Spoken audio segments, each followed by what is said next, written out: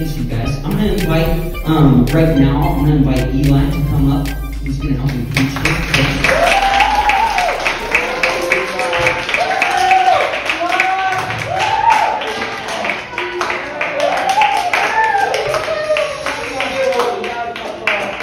So real quick, I'm gonna what Eli and I are gonna do as far as preaching tonight is we're gonna kind of tag team, pass it back and forth to each other. Okay. So first and foremost, I kind of want to talk about conversation. Last week we talked about what? Sharing.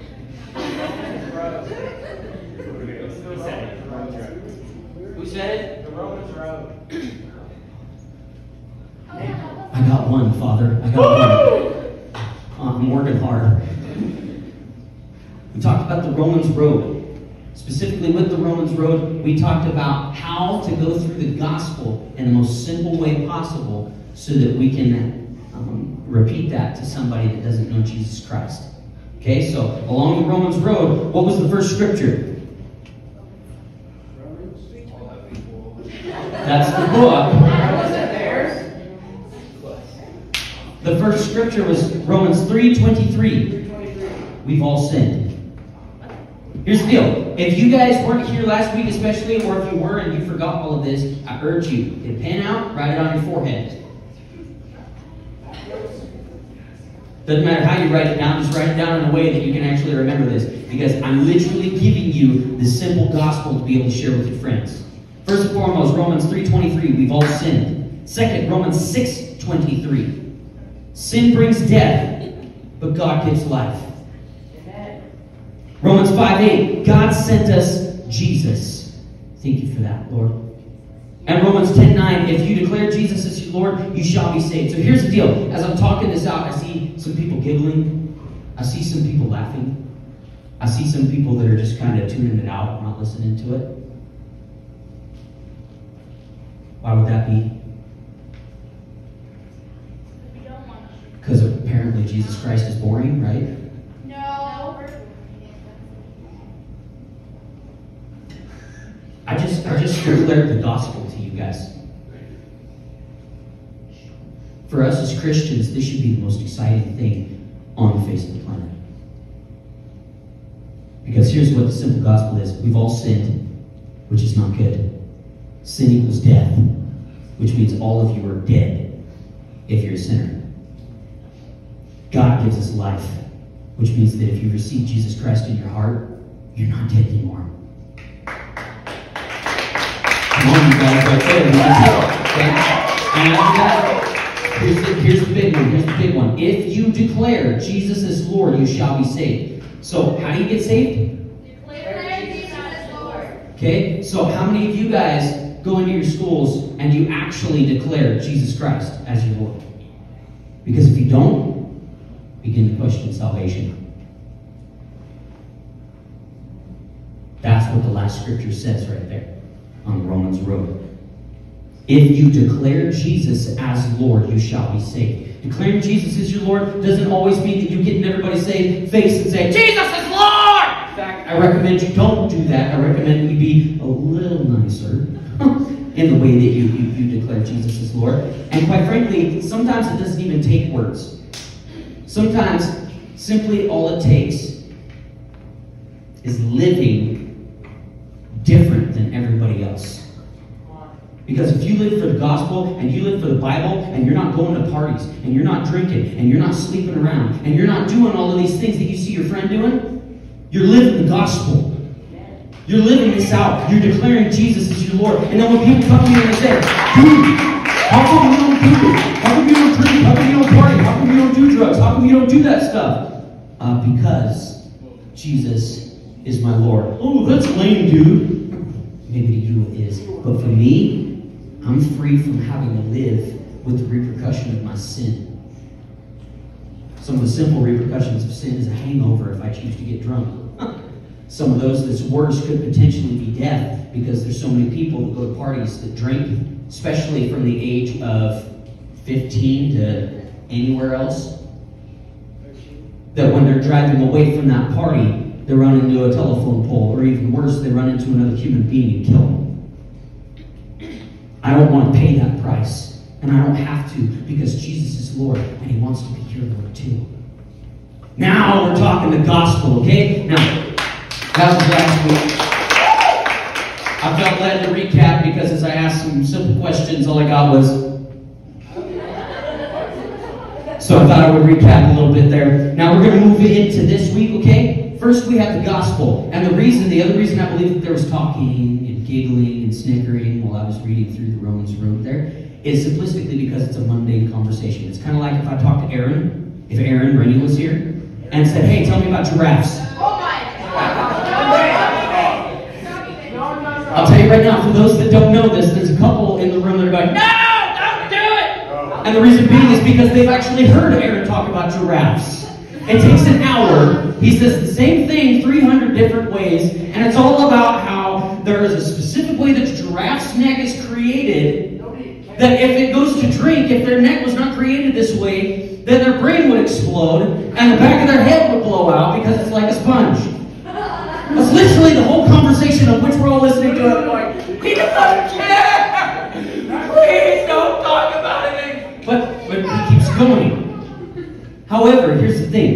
This is, I actually called Aaron and asked him permission to do this today because he said he was going to be here.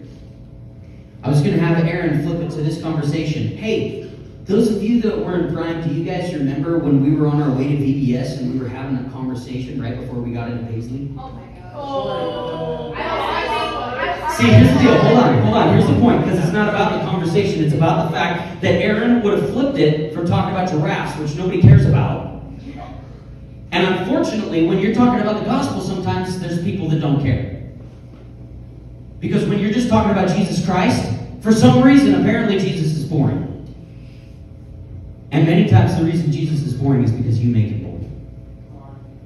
So don't let your Jesus be boring, first and foremost. But second off, the way that you flip it to where he's not boring is you do exactly what I just said. Hey, you guys remember when? Let me tell you about the time. There was this time life my parents once told me every single one of those phrases and the lines that automatically grabs our attention. We can't help but to listen. And the reason we can't help but to listen is because we're about to go into a personal story. Which means when we tell the story, people are going to be able to put a face to a story. Which leads us to tonight.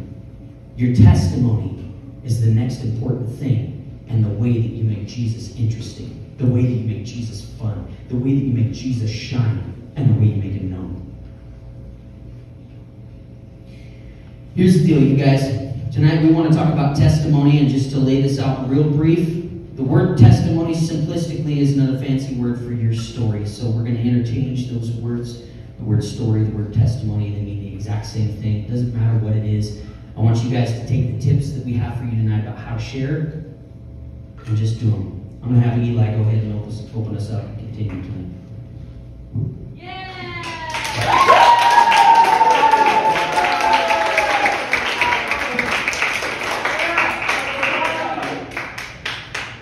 So I hope you guys know that one of the most powerful tools you have to share God with is your personal story. It is an incredibly valuable asset that God will use to completely change someone. There is something about a powerful is some, there's something powerful when someone starts opening up about their life. Because stories get a hold of us. Stories have, are interesting. Stories grab our attention, as Colton was just said. Our, and our stories is an amazing tool God uses to change people's lives. The, another great thing about story, sharing our testimonies about faith, is that it takes away someone's ability to, to argue. For example, if I tell you God answers prayers, you can say, no, he doesn't. And then what if I tell you this instead? If I tell you that when I prayed for a wife and God gave me Marissa, it was answered. I got her.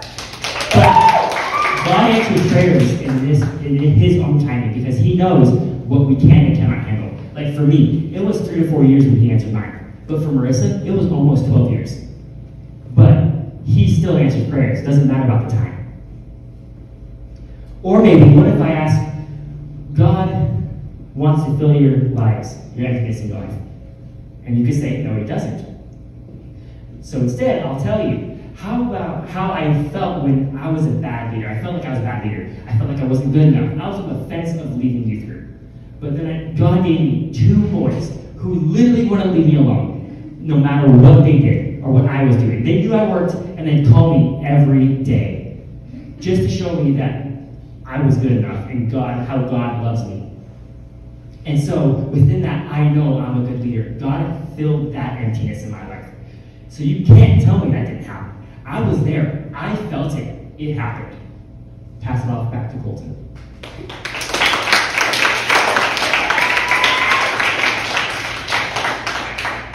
Check. Oh, this one works too. You don't have to clap for that. Um, you guys' stories are literally uh, kind of one of the most important tools and weapons I could even say in your uh, in your arsenal that you have. Okay, I need you guys to start looking at the world a little bit different, especially nowadays. Okay, because when you walk out of your doors, it's not like you're just walking out in to be an American in the outside world. It's not like you're just walking out to be another person. It's not like you're just walking out to be a girl or a guy. It's, it's, it's not like that. You are literally walking out into a war zone.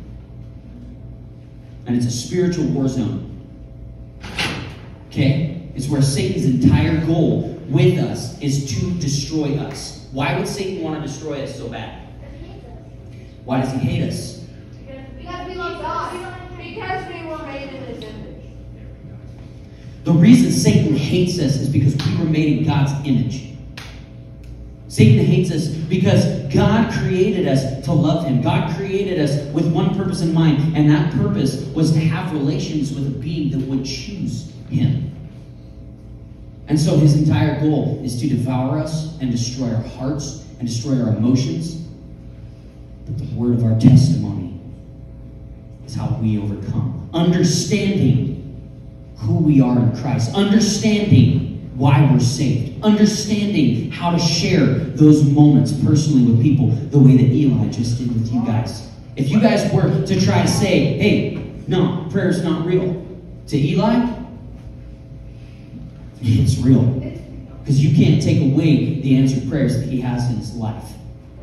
That's the goal with your testimonies, is to be able to come back with, oh, God's not real, he doesn't love anybody. No, on the contrary, my friend. God's blessed me a lot in life. And I've still had to walk through hardship. And I've definitely walked through times where I've questioned the way that you're questioning. God, do you actually love me? Because I'm hurting right now, Lord. And every single time God's proved it. Let me share a time. Testimony means a lot when you share the gospel of Jesus Christ, you guys. Let me read this point here just to sum up. This is Revelations 12 11. They triumph over him by the blood of the Lamb by the word of their testimony. They did not love their lives so much as to shrink from death. Here's the deal, you guys. To briefly sum up what that scripture is in that chapter, Revelations is the end of the book. Revelations is literally what we're living in right now. It prophesies about end times. It prophesies about the time frame that we as human beings would live in right before Jesus Christ was going to come back. And it's now. This is literally the coolest time to be alive. It's scary. There's some different things about it that maybe you don't fully understand, but it's the reason why you should draw closer to Jesus Christ than ever because God hath not given us a spirit of fear, but of power, love, and a sound mind. In this simple scripture, in this simple chapter, what it's talking about is the dragon. And how the, the, the dragon came to devour the woman because the woman was pregnant and going to give birth to a son. Now, I understand I'm talking right now, and you guys are like, where is he going with this? Oh, what is happening right now? In simplicity, what it's talking about is the woman, the son, us as people, were made in God's image.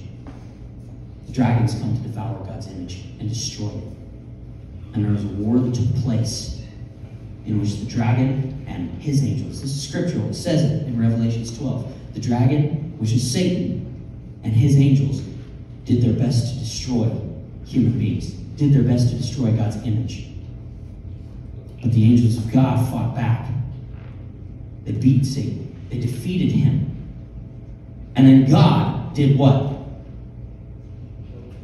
Let's read that scripture again. You guys ready? Ready to get excited? They triumph over Satan. They triumph over him by the blood of the Lamb and by the word of their testimony. They did not love their lives so much as away from death. Legitimately, you guys.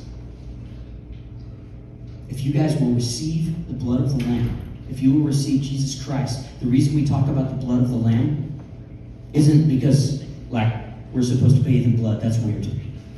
That's not Christian. But in our hearts, we are supposed to be purified by the pure blood of Jesus Christ. Our blood is wicked. Our blood is tainted. Our blood is fleshly.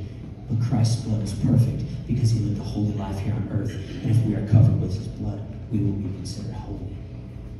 So that's first and foremost. And the second way that you literally walk outside and kick Satan in the face, and you have the right to do it, is by the word of your testimony.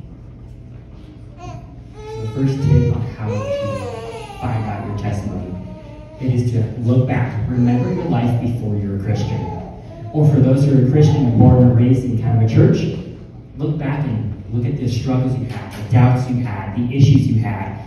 Because when we're talking to people, we need to make sure they know we're not perfect.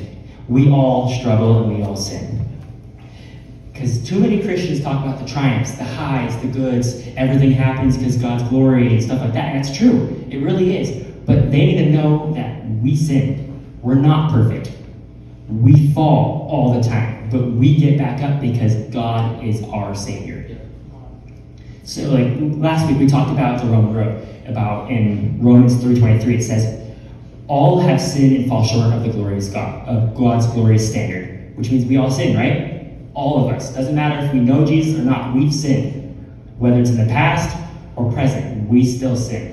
So we need to make sure the people we are trying to tell our testimony about they know. They know we've sinned. Don't just tell people, hey, you're a sinner. You need Jesus. You need to admit to them, hey, I've sinned too. I need Jesus. That statement, y'all need Jesus, is so true. Y'all, all of us, need Jesus. And with that, you'll have less judgmental people and less people arguing with you because you've made it reality. You made it personal. You made it, hey, I messed up too. And that's the tip. First tip is back. Tip number two, remember. Remember the moment when you became a Christian.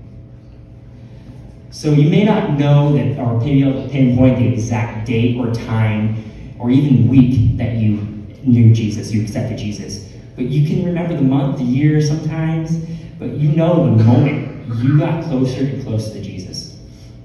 And whether it's through a camp or a weekend retreat, when you really made your faith your own. Remember these times helps recognize, reignite our passion and excitement for Jesus. Because chances are you didn't get to know Jesus just because you were bored. You didn't turn to Jesus or rededicate your life because, man, I had nothing better to do. Something happened. Something happened that day, that week, that month, or that year. Jesus was calling to you and you knew it. You heard him. So remember that time.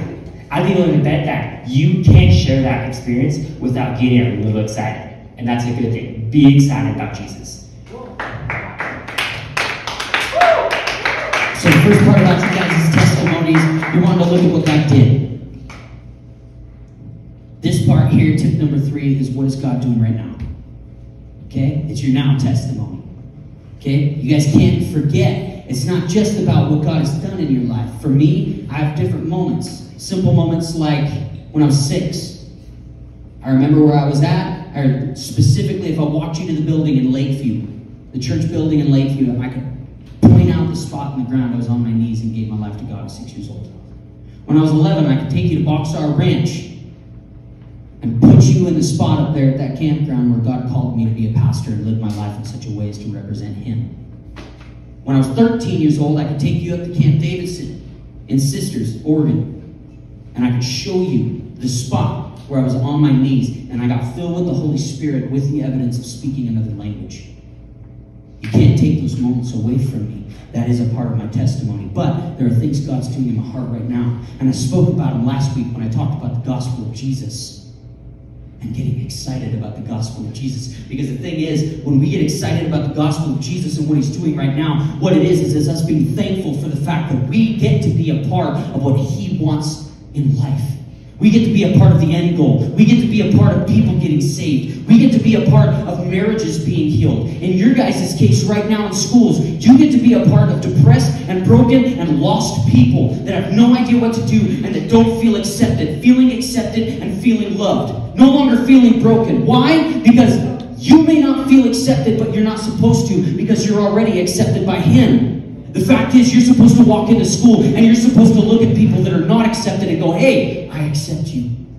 I literally, I want to bring you in. I want to be your friend. Will you let me?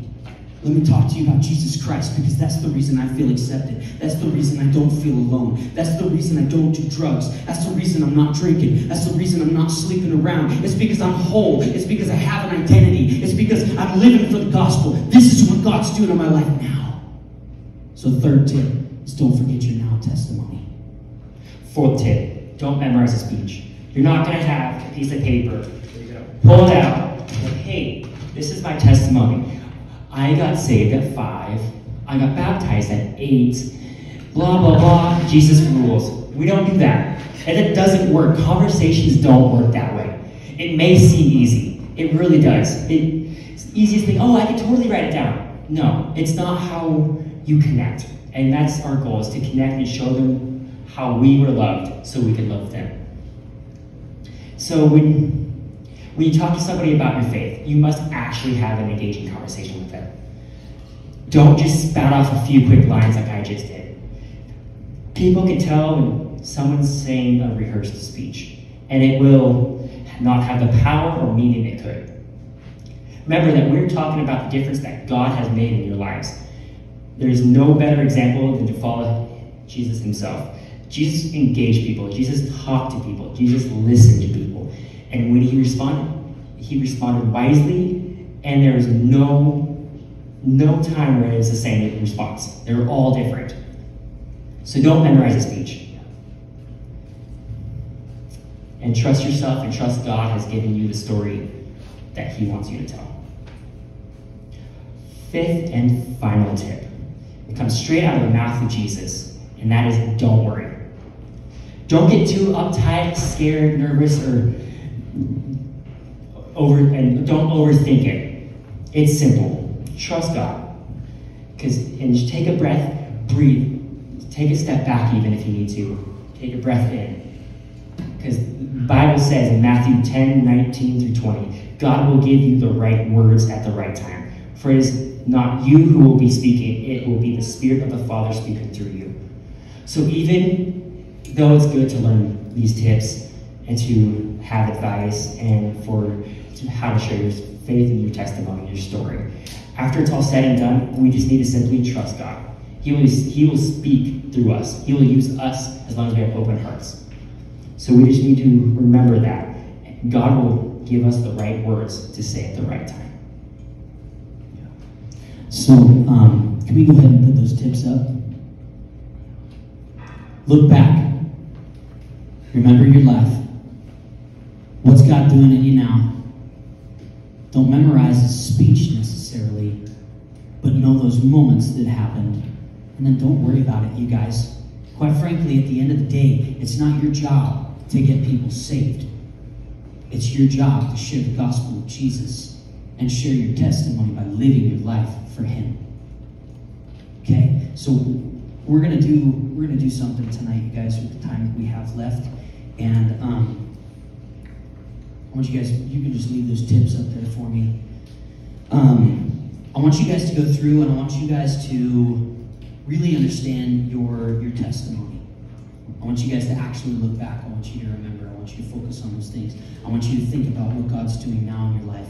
And I don't necessarily want you to have it rehearsed, but I do want you to have an understanding of what it is that um, I do want you to have an understanding of those places in life. I just spouted off a couple of them, only three, you guys. I have so many more moments in my life that God has spoken to me. God has touched my heart. I have different camps, different conferences. I've had missions trips, different things that I've gone on throughout my life where God has wrecked my life. And it's because I have lived my life in a way to seek Him. If you're not living your life in a way to seek Him and you don't feel like you have a testimony right now, here's what I want to say to you. And I, I think this is a thing that can happen, especially if you're a new Christian. You may not feel like you have testimony, but you have the greatest testimony. You're at the beginning and you just received Jesus Christ as your Lord and Savior. Even if you're only a year or two saved, you're literally at that point, and that's the greatest point you could be at because it means you have life. It means Satan's going to come after you. It means he wants to devour you and he wants to kill you. But it means that with the word of your testimony, you get to defeat him every day of your life. And for those of you that grew up in the church and you feel like my testimony's not cool, I've heard people that get up and share, and they share about all the hell they walked through. They share about all the, the, the life choices they made that were terrible. They share about all these things. I don't have that. I haven't sinned enough to have a testimony. That is a lie from hell. If you feel that way. If you grew up in the church and you made very little mistakes, that's your testimony. And you've got to be excited about that. Because what it means is that you are literally living your life in a way to where you can receive the love of Jesus. Here's what scripture says it says, He that suffered much loves much, but he that suffers little loves a little. If you're a church kid that's grown up in this place, in this building, and you've made little mistakes and you've suffered very little in your life, chances are you're very harsh. Chances are you're not a very loving person. Unless you actually look at what you have as your testimony and refuse to be a hard person and an unloving person. Our testimony is one of the most important things we have. Do not believe that you don't have one because I promise you each and every person in here does if you've received Jesus Christ in your heart. And then from there, just go through the different moments. And if you don't have different moments right now, then pray and say, God, I want some moments. I want some moments. I want you to wreck my life. I want you to touch me in a way I've not been touched, Lord. I want to be able to trust you, but you prove to me that you're real. Prove it, God. My heart is open. I want to see your power. I want to know you're real. People say you're real. I've heard it in church, Lord God, but I don't know if I believe it. So what I want to do right now, I have some some notebook paper that you guys can come and you can grab. Um, we've got some pens that are going to come forward right now. And if you guys would like to, just kind of spread out through this room and write down your testimony on a piece of paper. Try to go through and utilize these tips that are up here to remember those moments. Think about what God's doing and be prepared to spread the gospel through the Romans road. We're going to be posting that a few times this year because I really believe that this is the year where you guys get to go in and take ownership of your school for God. But you have to be willing to do it. It's not going to be your pastor. There's very, I'm very limited in what I get to do. But quite frankly, the law still states that you guys get to represent Jesus Christ to the fullest on your campus as students. You're the missionaries, you're the pastors. You got this. So make it happen. Be bold. Know your stuff. You don't have to know everything, but know the basic gospel and how to communicate it. Know your testimony and how to prove that Jesus Christ is real in your life, anyways, and then represent Him. And from there, don't worry about it. Because the fact that you represented means that that person does not get to say about you, they didn't actually live like a Christian or a hypocrite. Does that make sense? Let's take a moment, you guys.